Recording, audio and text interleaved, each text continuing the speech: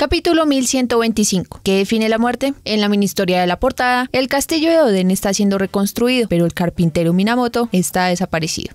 El capítulo inicia Naked. Ah, menos mal ya nos habíamos ido de Naked. Los Serafim ya están recargados y listos. Kaku y Luchi llegan a un barco y les preguntan por Stussy. Luchi dice que la mató. El viejo Saturno está con los vicealmirantes, York, Pong Records y la Power Plant. De esa forma obtendremos la Mother Flame es un resultado aceptable. Por otro lado, los vicealmirantes se disculpan por activar la Buster Call. Eso hizo que Bonnie y los Mugiwara escaparan, pero se dirigirán a Elbaf en cuanto pueda. A lo que Saturn dice que no deben perder el tiempo yendo a Elbaf. El problema fue la transmisión de Vegapunk. No solo no pudieron detener el mensaje, sino que el gigante de hierro ayudó a los piratas, lo cual es una gran ironía. Y es una ironía porque hace 200 años se dio la orden de destruirlo y el viejo no quiso porque iba a ser un gran aporte a la milicia. Los científicos de la época le agradecieron y lo que le sorprende a Saturn es que en 200 años no se movió y ahora lo hizo para proteger a Luffy. Doberman le pregunta si el que se haya transmitido el mensaje es un error porque las palabras de Vegapunk eran verdad. Se demoró más preguntando que Saturn fumigándolo. Dentro del laboratorio en Punk Records, York se pregunta por qué las nubes se están incrementando. La máquina esa de las nubes se salió de control. Apunta con un arma y dice que Edison murió en Fabio Face, pero no, todo lo contrario, está vivo y se llevó a Punk Records junto con él. En Mary Joy se preocupan por las declaraciones de Vegapunk, pero bueno, eso no debería afectar la tierra sagrada, ¿no? Se deberían preocupar mejor por la comida porque se les está acabando.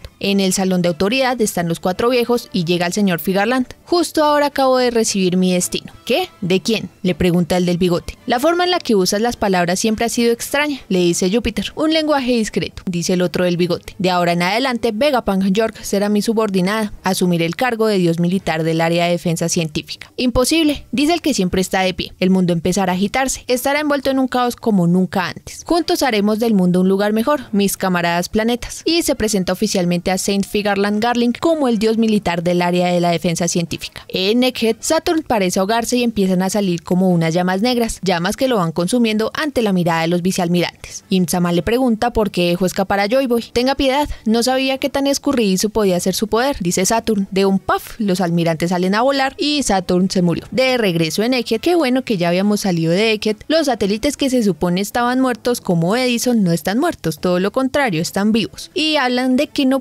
llevarse a Lapface. York lo impidió y como están por allá arriba en aquel alto, Pitágoras le recuerda que la señal llega a todo lado. York también puede acceder allí. Ahora se tendrán que hacer cargo del cerebro del genio para que la humanidad pueda beneficiarse. Para el mundo, Vegapunk está muerto, así que no pueden viajar con la libertad que quisiera. Tampoco hay dinero para las invenciones. Y entre las partes de todos forman un nuevo cuerpo. Ah, es que tenían un almacén con muchas de sus partes. El caso es que Atlas sugiere deshacerse de las partes de York. Luego el nuevo Vegapunk, que quedó con la cara de Edison, llama al viejo este, Aredas, el que entrenó a Nami. ¿Eh? ¿Qué significa eso? Se supone que estás muerto. En el reino Kamabaka, Koala es un resumen de lo que dijo Vegapunk. Aquel que encuentre el One Piece volverá a obtener ese poder. Finaliza. Betty dice que no pueden esperar a que eso suceda. Sabo dice, ah, no es coincidencia que los Tenryubito vivan en el Red Line, que es el lugar más alto del mundo. Poder deductivo excepcional. Eso explica por qué en Tequila Wolf han estado utilizando esclavos para construir estructuras los últimos 700 años, dice Ivankov. Dragon, Dragon articuló más de dos palabras. Dragon dice que no todos los que escucharon las palabras de Vegapunk van a prepararse de forma pacífica. Tendremos que hacer algo cuanto antes. De lo contrario, las personas no tardarán en pelearse por un lugar seguro. Un periodo caótico ha empezado.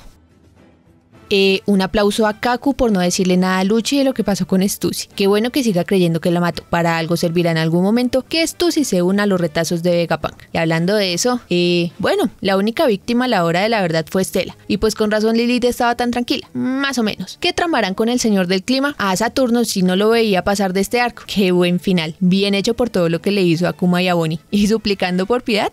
en algún video que hice hace rato, por ahí se los dejo, hablaba de la posibilidad de que los del Gorosei solo fueran extensiones de Imsama. Y pues no sé qué tanto sea cierto, pero pues más o menos. Su vida y su poder sí están a su merced. Ahí sí, como dijo Júpiter, Garling habla de una forma muy extraña. Eso de camaradas planetas es curioso. Y eso que recibió su destino, también. Curioso también que llegara de una vez a reemplazar a Saturn. Es como si no pudiera quedar ese espacio vacío en el Gorosei. Y que precisamente sea un Figarland, que no es como que tengamos mucha información de ellos, pero importantes son. Y que sea un caballero sagrado, mmm, no sé, curioso. ¿Será que por fin el ejército revolucionario va a hacer su movimiento? Vamos Dragon, hazle ahora que no vas a volver a hablar tanto en 100 capítulos. Gracias a los miembros del canal y invitados como siempre a unirse. Por ahora, eso es. Eso sería. Hasta la próxima.